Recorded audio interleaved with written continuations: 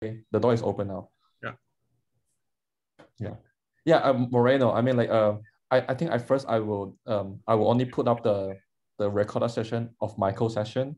So I will Mm. not put yours first. So you can tell Okay. me if you want me to put up or you can just yeah, it's no, up to I you. can uh, uh, stop video if you want. That's fine. uh, yeah, okay. I mean, yeah, sure. Yeah. You, you have the control, but oh no, no, Like no, no, no, no. No, I, I mean like for for the recorded talk. That's that's what I meant. I don't mean like your your video now. Okay. Oh, you can uh, you can record. Then uh, I uh, probably ask to collaborator if we uh, Okay, better good. to make it to make it public or not. Okay, Let's okay, yeah. Share with collaborators. Sure, exactly. Yeah, that's that's yeah, exactly. Okay. yeah. Sorry, I I I was I was not very clear in what I say. Okay, so the, uh, if we can decide tomorrow, I, I Whatever. speak with. Uh, Yeah. You normally there is some data on, on, on yeah, it's a paper that we are preparing basically. Mhm. That um, tomorrow I speak with Hannah that also inside the, Sure. that, that work, and so I Mhm. can tell you later. Okay, okay, that's good. Okay. Yep.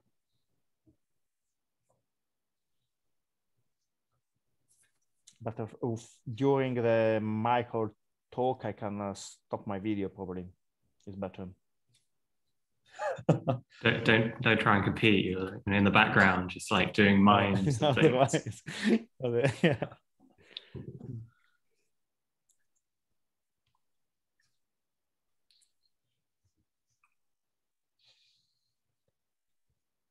You are already recording, I'm guessing.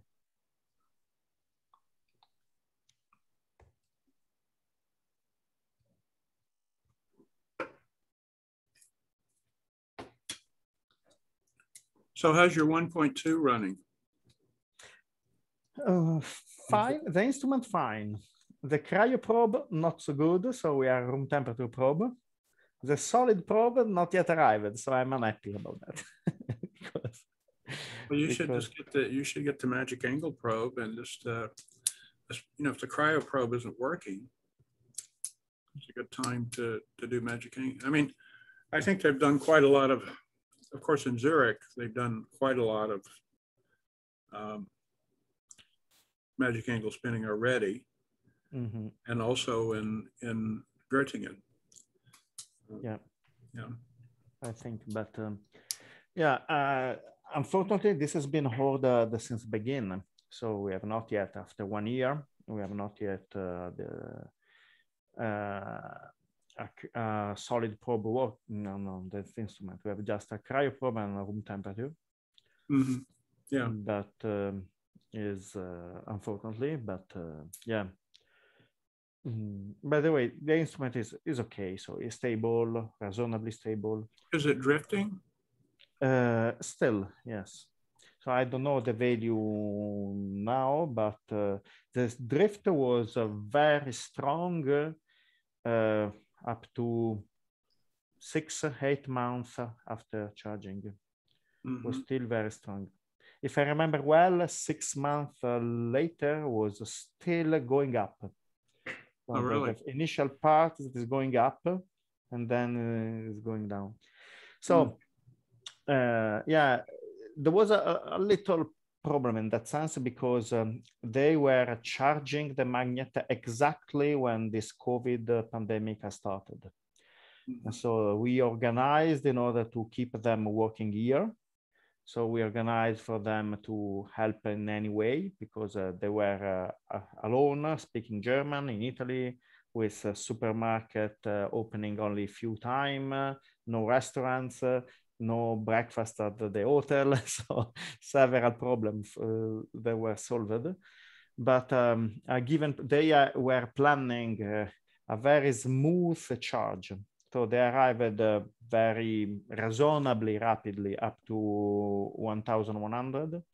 And then the last 100 is done with a very, very small, uh, smooth uh, procedure in order to reduce this. Um, then uh, they, uh, at the end, uh, they accelerate this procedure in order to uh, make these people going back to Germany and um, and also because they realized that uh, the drift uh, in the instrument could be for solution compensated by lock.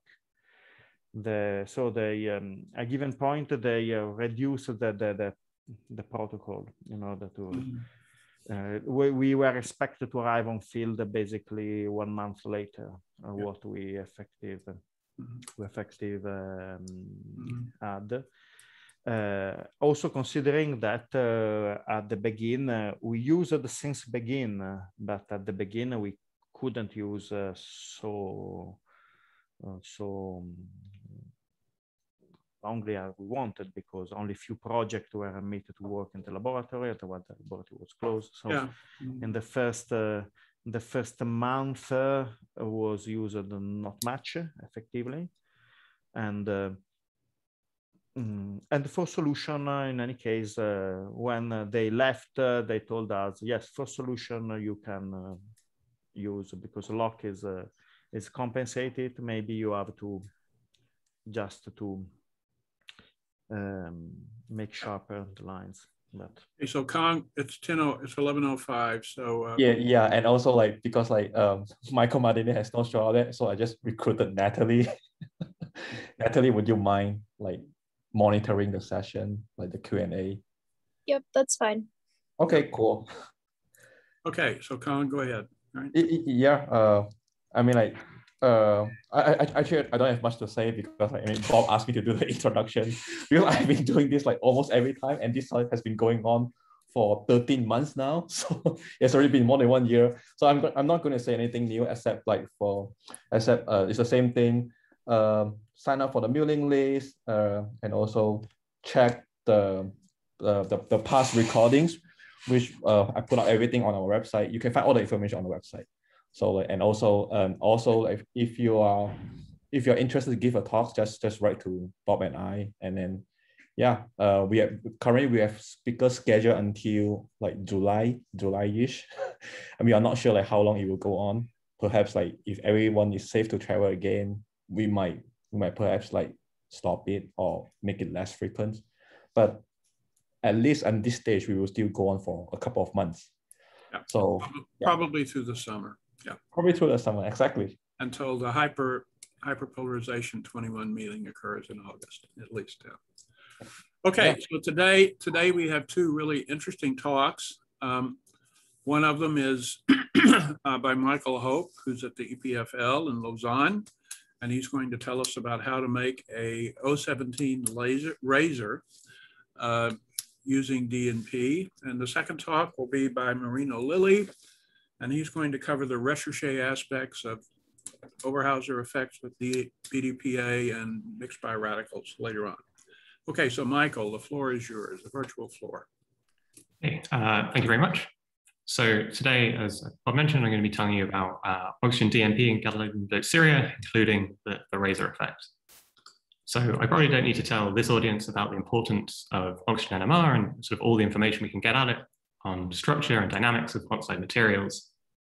Uh, I was wondering sort of how many materials we're talking about here. So I did a quick search on the materials project, and there's actually more materials that contain oxygen, more oxide than all other materials put together.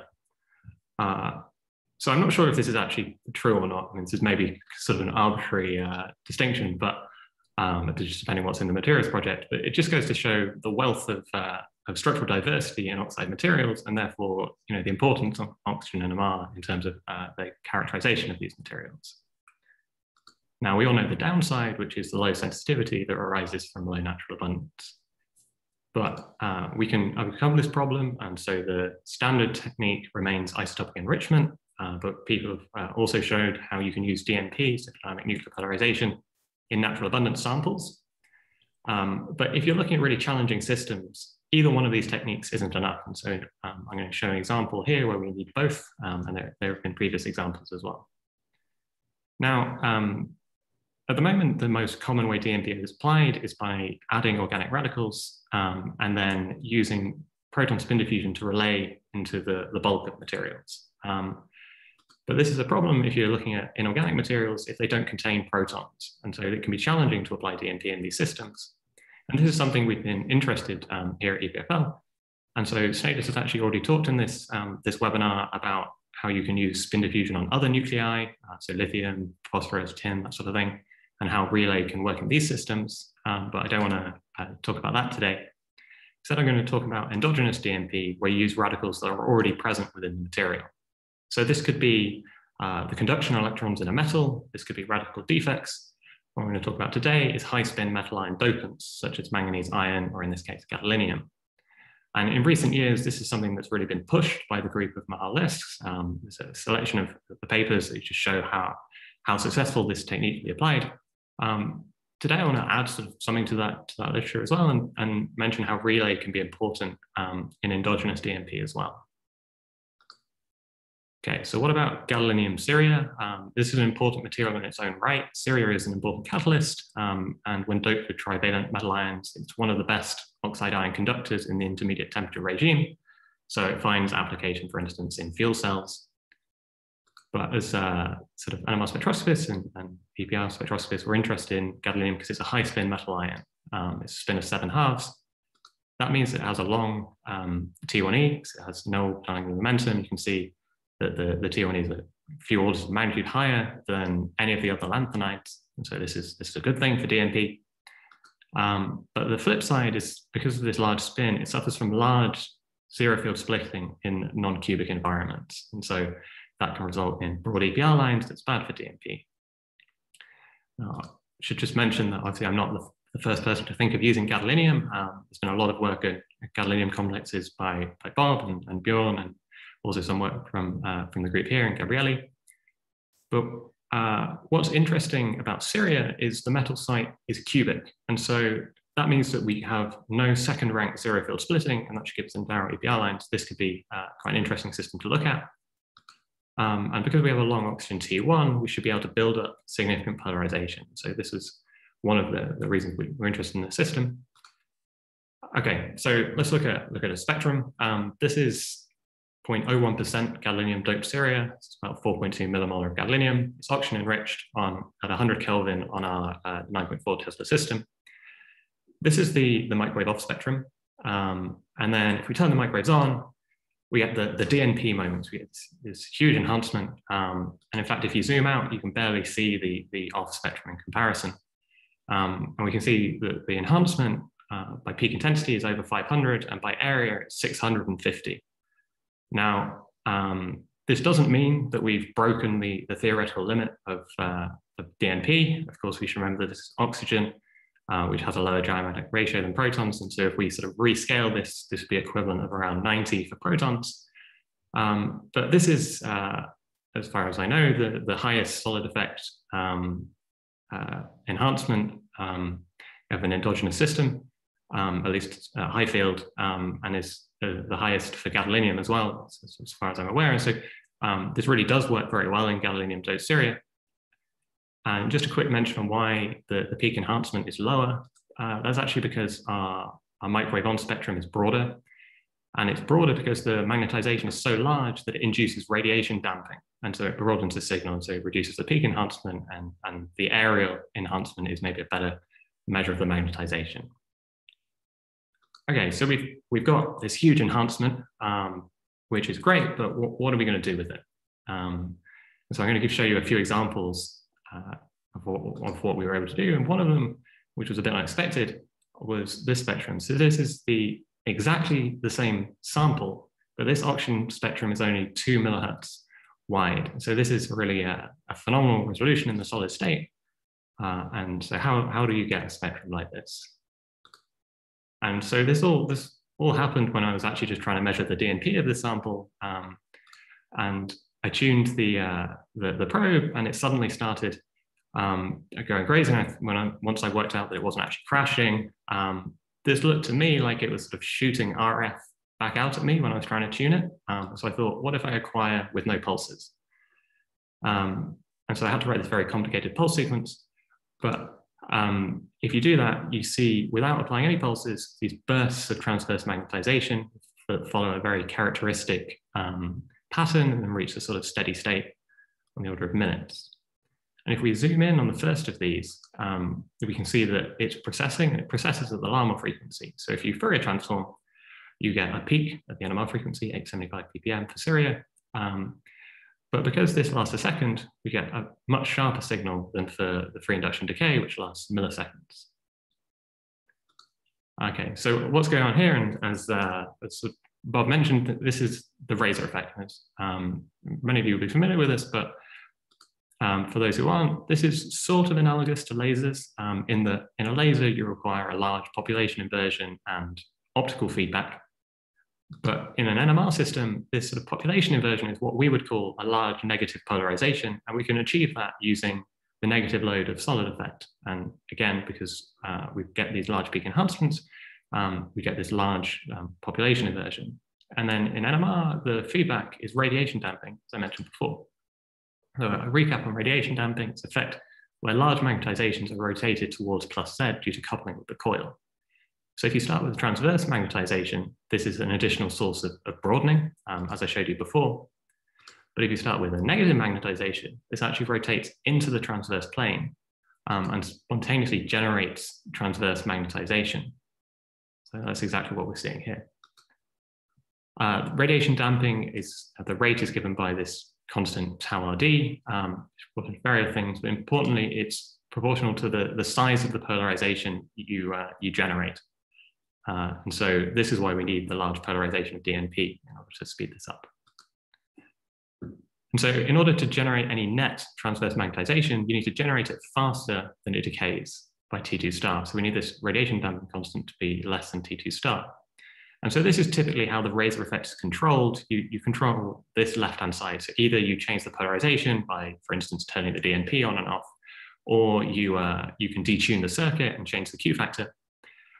But we can also play with the right-hand side. So we know in the solid state that T2 star is typically short, um, but we can make it longer with MAS. And so that allows us to play with this inequality. So that's what I'm showing here. So if we start in a, a very low spinning speed, we don't observe this effect. Um, so we've got uh, microwaves on the whole time. Um, and as soon as we spin up, we see these bursts of magnetization develop. And then when we spin down again, they go away. So we can reversibly switch this using uh, magic angle spinning. Um, and this is what really enables the Raser effect in the solid state in the system, which we, we thought was pretty fun.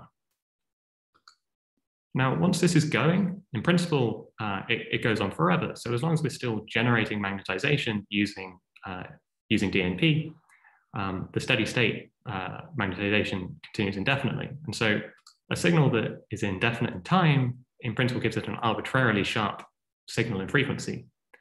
In practice, we're limited by field stability. So in fact, uh, it just happened that this five minute period here was the most stable in the field. Um, and so if we Fourier transform this, uh, then we get a line width of, of two millihertz in the solid state. Okay, so that was a sort of a, a fun project involving some, sort of interesting physics. Uh, but I wanted to go into a little bit more detail about why we're getting such a, a large enhancement and what's, what's limiting it and, and go really into some more of the, the details. Uh, so one of the things we looked at was the effect of concentration. Um, and this is maybe not, not too surprising, but as you increase the concentration, our enhancement just falls off monotonically. Uh, but we wanted to get a handle on why this was, so we turned to look at the EPR. Uh, and so this is, uh, this is the X-band EPR. I've um, integrated the, the spectrum to give the, the absorption line shape and I've normalized the intensities. And what we see as we increase the, the concentration of gadolinium, we just broaden our EPR resonance. And so this is predominantly due to uh, electron dipolar coupling, because on average our gadolinium ions are closer together. Um, there's also another effect because as we introduce gadolinium, we also introduce charge, uh, vacancies for charge balancing. And this breaks the cubic symmetry, introducing that uh, second rank zero field splitting. And of course, the broader our EPR line, um, the less efficient our DNP due to the uh, limited excitation of our microwaves. And so that really explains why the enhancements go down. But what we notice here is the we still have a quite a significant residual line width of the central transition, uh, even at, at, the lowest concentrations. Um, and this is uh, it's quite featured, and so this has a sort of a second order line shape, um, even though there's no uh, second rank zero field splitting. So I wanted to, to understand what was going on here, um, and to do that, we fitted the, the whole spectrum, or we simulated the whole uh, X-band spectrum. So this is uh, showing the derivative on the left and the absorption on the right. Unfortunately, uh, these parameters were already determined back in 1967, um, and so we, we could just look those up. But uh, importantly, there really is no second rank zero field splitting here. This is perfectly cubic, but we do have a large fourth rank um, zero field splitting, um, and to a certain extent, uh, lesser extent, sixth rank. And so this is coupling to uh, a fourth rank um, electrostatic multipole. Um, and what's interesting is that the line width this gives of our central transition is equivalent to if we had a second rank zero field splitting of around 500 to 600 megahertz. So this is still quite a significant residual line width. And this is just something I wanted to highlight that if we're trying to um, make high spin uh, metal ion DNP or gadolinium DNP in particular better and better, it's not enough to get cubic symmetry. We need to really worry about higher order charge multipoles, which is not something that was not immediately obvious to me at least. Uh, another thing we looked at was the effect of build-up time. Um, so this, I'm showing enhancement as a function of, of build-up time uh, for that same sample. And what we see is it increases. Uh, this is strong evidence of relay of hyperpolarization um, in the system. Uh, and in particular, relay that's uh, limited by spin diffusion through the bulk um, in the sort of nomenclature of Nathan Prisco in this paper, I recommend checking out. Um, whereas if we compare to a higher concentration where on average our gadoliniums are closer together, we have a much flatter um, enhancement profile um, as a function of build-up time. And so that tells us that in this case, we're actually limited more by transfer across the spin diffusion barrier rather than long, long range diffusion, um, although there is still relay in the system. Uh, so why, why do we care about there being relay in the system?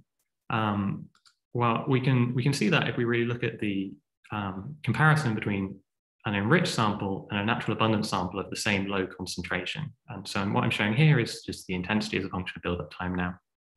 And we see that for the, uh, the enriched sample, we have a nice mono-exponential build-up. Um, so we have a sort of uniform uh, uh, spin temperature that's equilibrated by spin diffusion.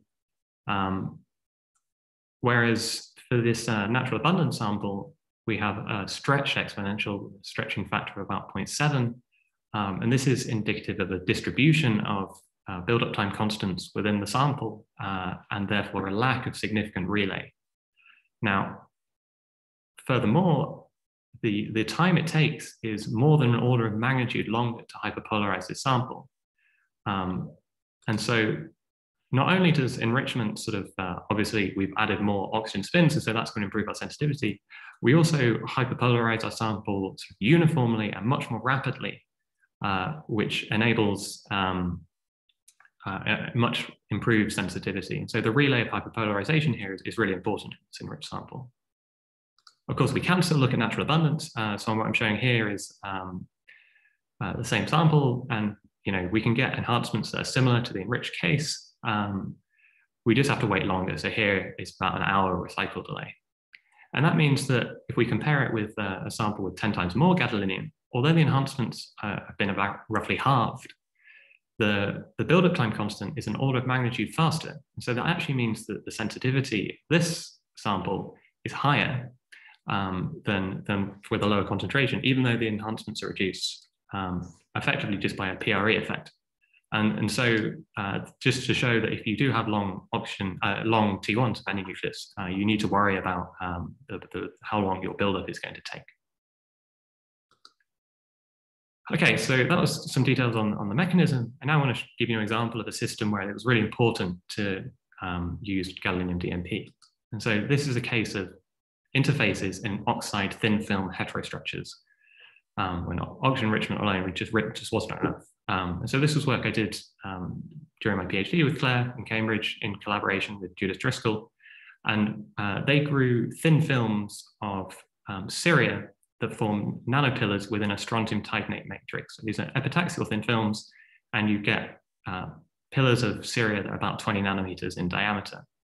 Now, what we were able to show with oxygen enrichment is that as well as the, the Ceria signal, the strontium titanate signal, we get an additional signal about halfway in between. And uh, we could assign this to a, a specific interface in the system where we have a single atomic layer of oxygen, which is shared between the strontium titanate and the Ceria. It's this intermediate shift. Now, we were able to, to gain a lot of information about the system, um, but we're really limited to 1D spectra because even with oxygen enrichment, even though they grew four epitaxial thin films for us, this still took five days of acquisition. And so we, we could do sort of 1D spectra, but we couldn't uh, really push beyond that. And so enter gadolinium, uh, and they, they grew us some, some new samples with 1% uh, of gadolinium doping. Now, in hindsight, obviously, this is about 100 times higher than, than perhaps would have been optimal, but it was already enough to demonstrate the applicability of this. Um, and so uh, we took this to the DNP system in Lyon, um, the 1.3 millimeter system, because, um, well, partially because it was already packed in 1.3, but we just have very, very little sample mass here. It's, it was, you know, center packed within a 1.3, and so we needed uh, um, additional fill factor. Um, and we also needed the fast MAS in order to separate the side bands. So this is sort of spectrum that we get. Uh, at the top, I'm showing um, basically the same spectrum as before without microwaves. Um, we see that there's a large signal from the zirconia. That's because the zirconia of the rotor is partially enriched. We had to do the enrichment in situ in the rotor. Um, but by tuning to the negative lobe of the solid effect, we can selectively invert all of the signals of interest and not the background from our rotor. And furthermore, we get selective enhancement. So we get an enhancement of about 10 for the gadolinium ceria phase, where the gadolinium is more localized, compared to about three for the strontium titanate and intermediate around six for these interface signals. And so these are in line with what you'd expect with this concentration, but importantly, this spectrum only took two hours instead of several days. Uh, and so this means that we can now do something we couldn't do before. We can get a 2D spectrum. And so this is an oxygen XE uh, spectrum. Uh, the zirconia, again, is, is positive, while the, um, the, everything else is inverted. Um, we nicely separate our interface signals along the diagonal.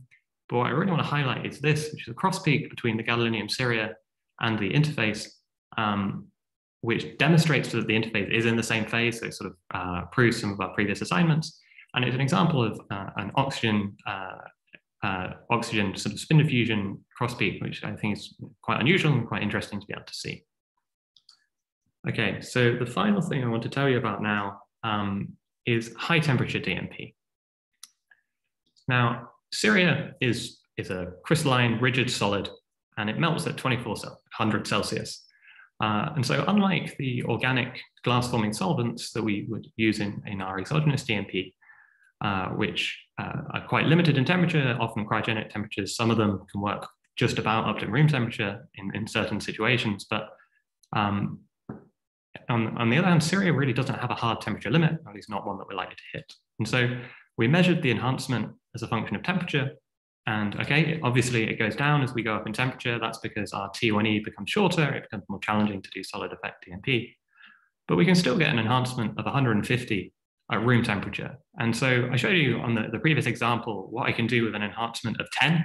Um, and so 150 is really a, a, game changer in terms of the sort of uh, experiments you can do and the sort of samples you can look at, um, whether be limited by sort of low sample mass or whether you're looking at uh, only interfaces um, this, this really makes a, a, huge difference. But we can do better than this. Uh, and so at, a, at 100, in order to get down to 100 Kelvin, you're limited by how much power you can apply. We were used about 14 watts in this case. Um, but if you're at higher temperatures, then you can increase the power. So we doubled the power. Um, that meant that our lowest temperature now was more like uh, 125 Kelvin, which has a slightly lower enhancement than um, with 14 watts at 100 Kelvin. Noting just the slightly different recycle delays here, but um, they more or less cancel out. So this is kind of equivalent in terms of what you can achieve. But at higher temperature, um, when we're not limited by the cooling, we can get significantly higher enhancements. And now we can achieve a factor of 320 at room temperature, which is, again, uh, sort of game changing. Um, and so the, these sort of experiments are, are, really important if you want to look at materials in under operational conditions of around room temperature typically, um, or if you want to look at dynamic processes. But some dynamic processes aren't at room temperature. And in you know, oxide materials, if you're using them as oxide ion conductors, you typically be using them at high temperature. So we wanted to know uh, whether this works at higher temperature. Um, and so we pushed it all the way up to 100 Celsius, um, where we can still get a, an enhancement of 150. And this is really only limited by uh, when my nerve gave out in terms of how high I was willing to heat the probe. But in principle, you could design a probe that, that could uh, operate at much higher temperatures if that's what you were interested in. Um, and this is something we're quite excited by because we think this opens up a whole, whole new range of samples and systems that you can look at and to study dynamics and in situ processes with just uh, radically improved um, enhancement. Okay, so with that, uh, I want to just conclude. Um, so I've shown how we can get uh, really large enhancements in gadolinium Ceria with endogenous DNP. That's related to the sharp EPR line um, in the cubic environment, as well as the long oxygen T1 the enhancements are so high, the polarization is so large, and the lines are so narrow that this actually enables the raser effect um, under MAS, and we can sort of play around with switching this on and off with MAS, uh, and we could get two millihertz line widths. This is kind of fun. Um, we can look at uh, important and challenging samples. So these are thin film samples where we're looking at a buried solid-solid interface uh, with selective enhancement, and we can now perform 2D experiments that weren't possible before.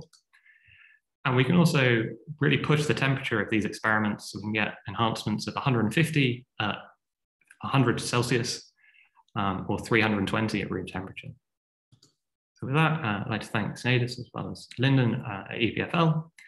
This was work I started uh, during my PhD with Clare, um, with the help of David Halat. Um, Bowen grew the thin films in the group of uh, Judith MacManus-Driscoll. Uh, we took those films to Lyon, working with Georges Zoran and Anne Lesage.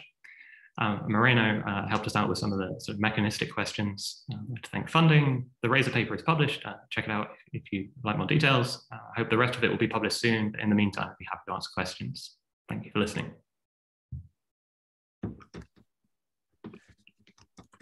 All right, thank you, Michael, for your very, very interest, interesting talk. I mean, it's nice to see that you can get so much enhancement at room temperature, even at room temperature, like 300 something. This is uh, I'm not sure like this sounds this sounds like something I have ever seen like at this high field. Um, uh, as usual, I will just ask a quick question before uh, so that the audience has some time to type in a question. So if I'm not mistaken, you say that uh, you use like oxygen 17 enriched sample. I mean, I'm just curious, it's like, was it like 70% or 90% label? I mean, what was, the percentage? Uh, so we use 70% labeled gas and we use about a one to one molar ratio. So of sample to gas, we're probably getting around 35%. Um, these were enriched at 1000 Celsius and Ceria is a good oxide ion conductor. And so we expect pretty uniform labeling and it's probably around 35%. Mm-hmm. Because I, I, thought like if you use 90%, that you could speed up the oxygen 17 spin diffusion. Then you can. Yeah, so it, it might be interesting to look at a lot of these yeah. um, properties as, as a function of enrichment level. Um, but yeah, that's not, not something we, we did here. So it's okay. quite enriched. Yeah. I have another quick question. Like, um, uh, how do you ensure that the gadolinium is uniformly distributed in, in your sample? Uh, um, with difficulty um, is the answer. Uh, so um, to briefly give you the synthesis, you, you, you mix about 10 grams of Ceria with like a few milligrams of gadolinia. Um, you put it in a planetary ball mill for a few hours. You pelletize it, fire it at 1500 Celsius for two days, grind it, pelletize it, fire it again for two days, grind it, pelletize it, enrich it. Um, and so uh, you, you know, we can then look at the XRD, which is pretty uniform in terms of the lattice parameters. So we're pretty confident that it's, it's reasonably well distributed. And also we can tell from the EPR that it's not, uh, we certainly don't have too, um, too much uh, distribution because otherwise we'd have like a, a, sharp line and a broad line, for instance. But um, yeah, sort of classic solid state synthesis, basically. Okay.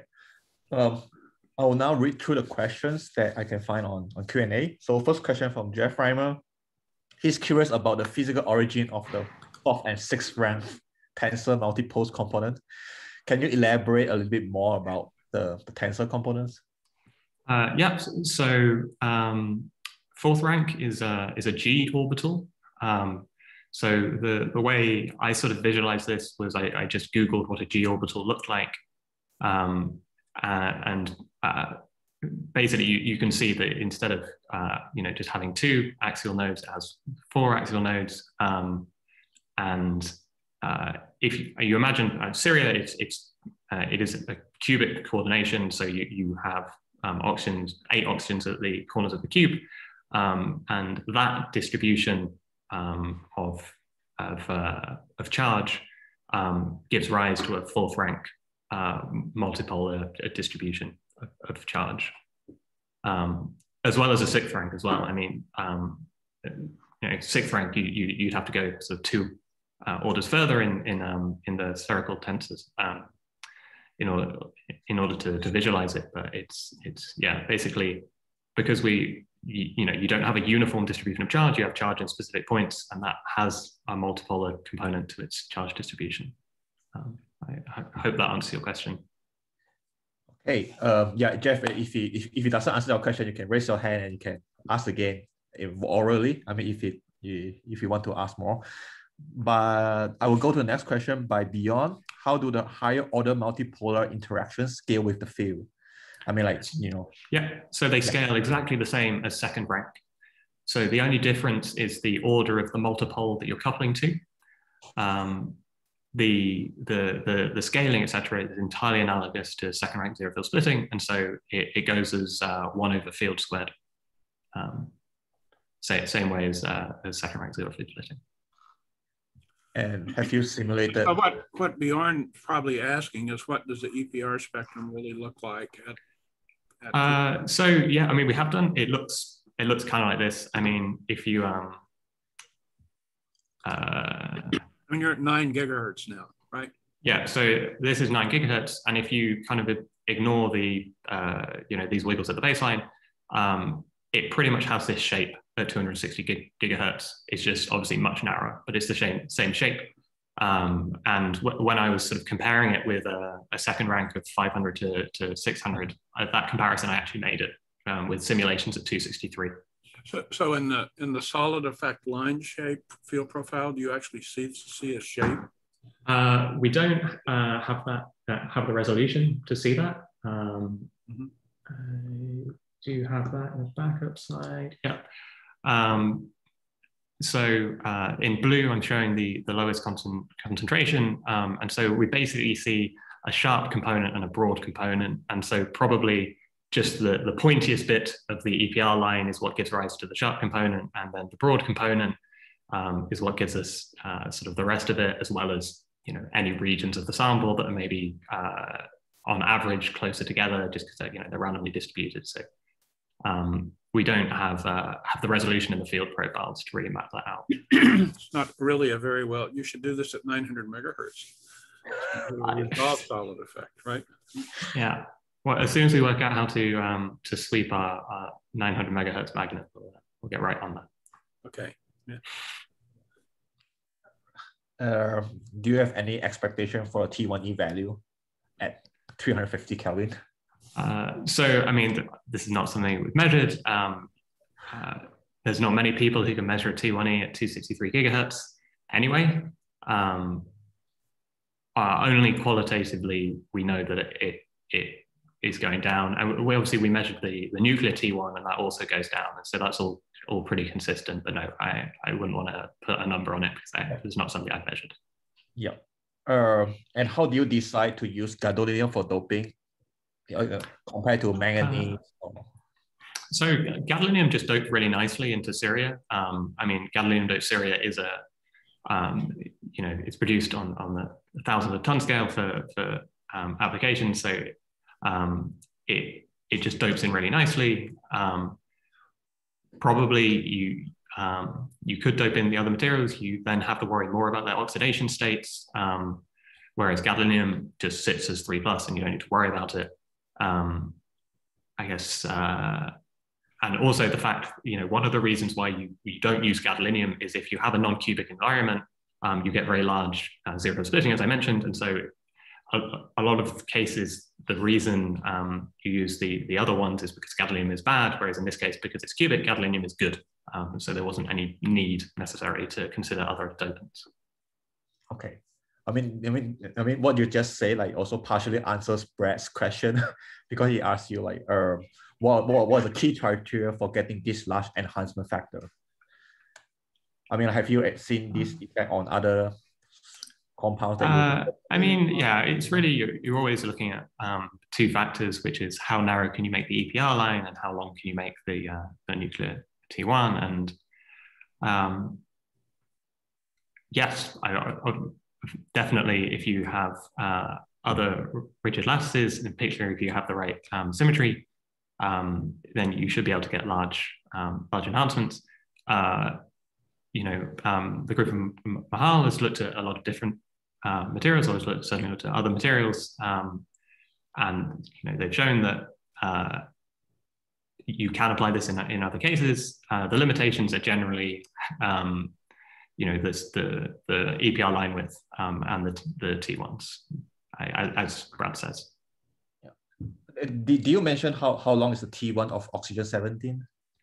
Uh, so I, that's that's really a question of um, what you put into the system, and so um, uh, have this as well.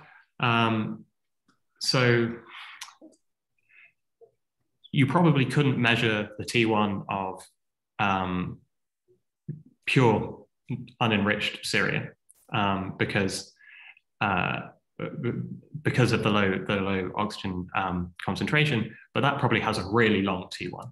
And so by using DNP, uh, a low concentration, we got um, about 3,000, over, over 3,000 as the T1. Um, wow. If you have no gadolinium in there, it's probably longer, like almost certainly longer. Wow. What's interesting is if you have oxygen enriched um, Ceria with no paramagnetic dopants, it's around four or 500. And that's because your um, your spin diffusion uh, relays uh, um, relaxation from sinks. And so even though you probably have quite a low concentration of sinks, the spin diffusion gives you uh, still a lower T1. Um, so yeah, the answer is it depends. It depends whether it's enriched. It depends on the concentration of dopants. But um, you know, cerium is uh, is is non-NMR active. It doesn't have any uh, NMR active nuclei. Uh, so in principle, you could get a very very long T1 of oxygen in Ceria. Okay, uh, Jeffrey asked two questions. Like the first one is to avoid radiation damping broadening, you should use small flip angles. Yeah, definitely. Um, you know, it, it, wasn't something that we were necessarily expecting to see when we were just trying to measure the enhancement. In hindsight, you could uh, you could just uh, avoid that. Um, the the only reason for sort of using the exact same experiment is in order to be able to compare to other samples. Um, so that was that was the main reason. Yeah. Um, and, and the line width, you, can, you can do that. Yeah, and the two millihertz line width that you quoted, it only depends on how long you want to acquire, right? It's not really by spin physics, but by how how long you decide to choose. Uh, well, I mean, in in practice, it's limited by the stability of your field. Um, so really, what I've measured there is my field stability, so the field stability is two millihertz over five minutes. Um, but yeah, I'm, I'm not trying to claim that um, this is a, we've really got a chemically defined environment to, that's well defined within two millihertz. I mean, obviously this is, you know, uh, this uh, spin physics effect that's, that's um, interesting and maybe it could be applied to improve resolution, but um, it, for, for, sure, it's not, it's not purely a, a other effect of the material? Um, the peak to peak width. I think I saw in your field profile it was yeah, it was, it was two two millitesla, uh, four millitesla, which is twice the um, uh, the the Larmor frequency of oxygen. Yeah. Yeah. Okay, and then like another question, like if if the T1 of your oxygen 17 is that long, ideally any PRE agent without microwave. Oh yeah, for sure it will. um, yeah. Um, obviously also getting a you know 500 fold uh, enhancement um, with DNP is is better than the PRE alone. But yes, um, PRE is also you know gives you an advantage however it comes. Okay, I think I think that, that's all for the questions. Bob, you have additional questions? If not, then we can. All right. So thank you, Michael, for a really uh, nice presentation. Very interesting new topic for DNP. Uh, the next talk is by Moreno Lelli, who is from the group at Florence. Moreno, are you going to turn on your video? Or, uh, yes, you go. Okay. And Marino has done a lot of very nice work over the years on over on DNP, various types of DNP. Uh, initially, the Overhauser effect, he got into it in a very big way uh, with BDPA. And more recently, he's been concerned with